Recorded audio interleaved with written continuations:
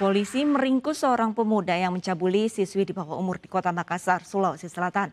Modus pelaku adalah berpura-pura menawarkan tempat peristirahatan kepada korban lalu merayu dan mencabulinya di sebuah rumah kosong.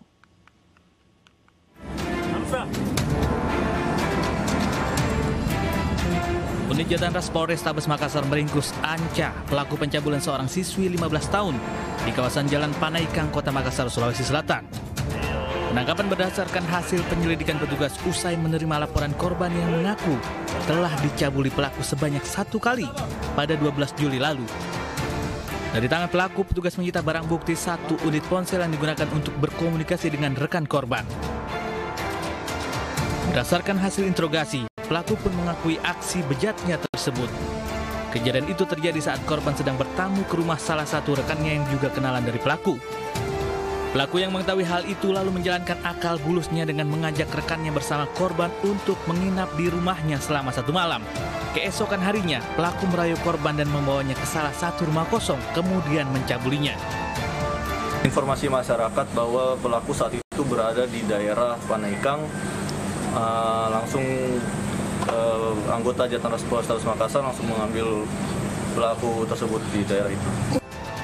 Akibat aksi bejatnya itu, pelaku terancam pasal tentang perlindungan perempuan dan anak dengan ancaman hukuman 15 tahun penjara.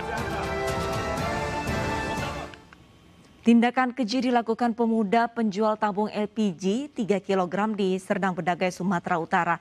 Berdali mengantarkan gas untuk orang tua korban. Pelaku mencabuli balita satu setengah tahun hingga alami trauma. Ironisnya pemirsa, pelaku dibebaskan setelah sempat ditahan dengan alasan telah berdamai.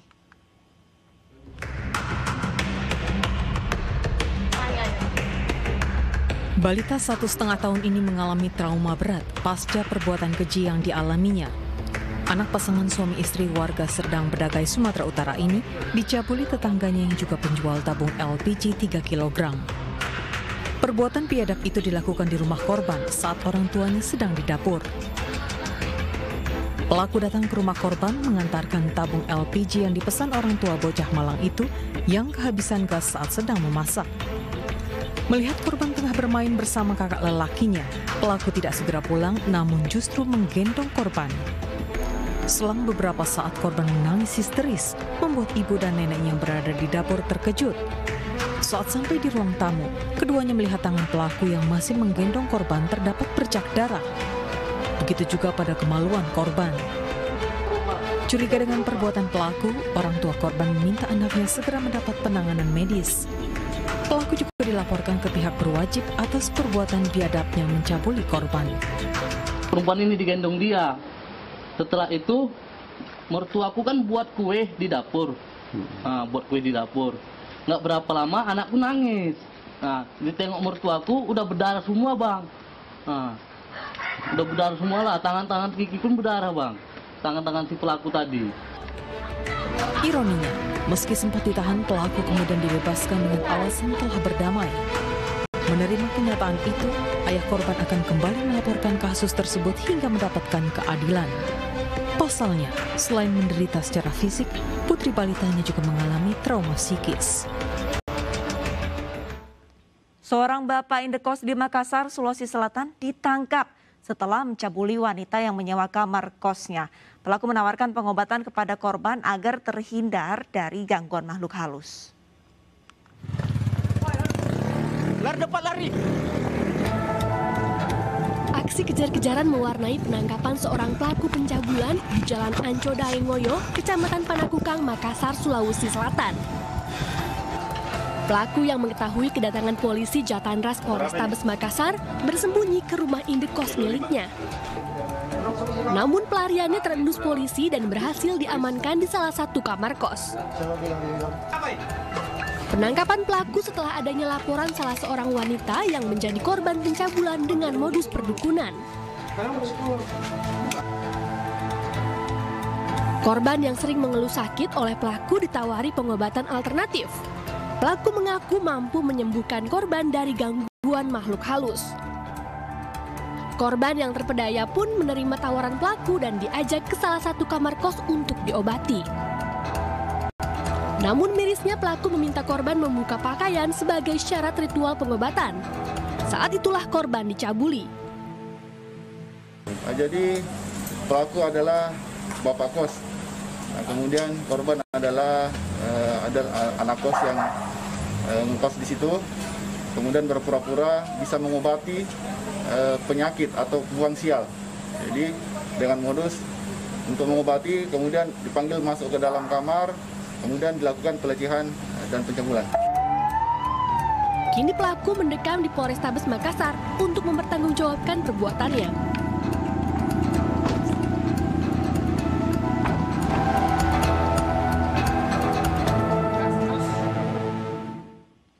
Seorang pria beristri tiga di Batubara, Sumatera Utara tega mencabuli anak tirinya hingga hamil dan melahirkan. Pelaku ditangkap setelah buron lima bulan.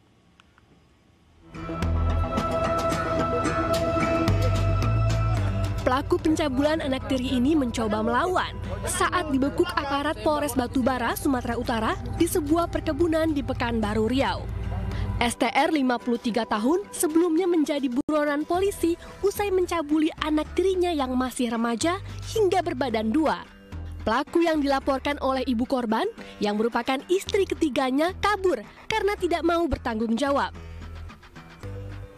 Pelaku mengaku sudah dua tahun mencabuli korban yang saat itu masih berusia 14 tahun.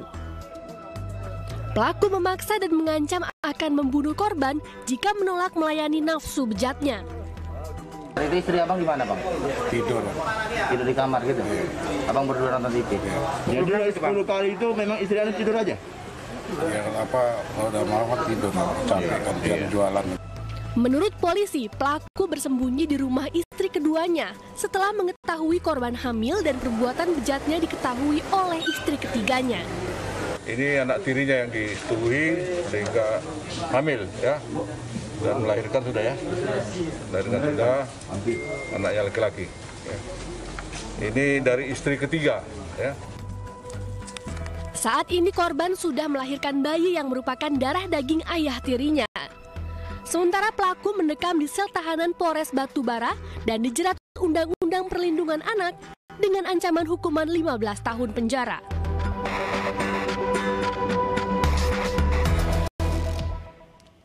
Perbuatan bejat juga dilakukan seorang ayah di Pesanggerahan, Jakarta Selatan. Pelaku tega mencabuli putri kandungnya selama lima tahun.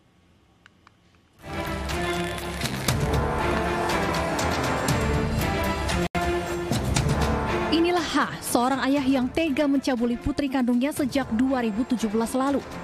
Pria asal Riau ini ditangkap setelah warga sekitar tempat tinggalnya di Pesanggerahan, Jakarta Selatan melaporkan pencabulan ini ke polisi.